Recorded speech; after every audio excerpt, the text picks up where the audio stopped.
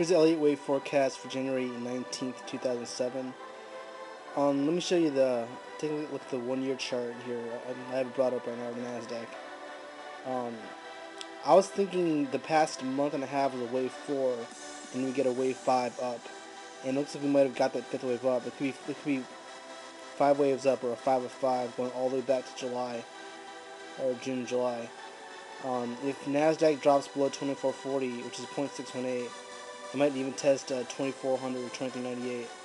So um, the setup right now is sort of five wave top, which I, I, just I've been looking for this, but I didn't want to mention it until it actually happened. But um, because the sideways move in the past month was resembled a four.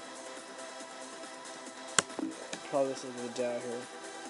Dow is hard to tell in these charts here because the Dow and the S&P haven't reacted to the Nasdaq yet.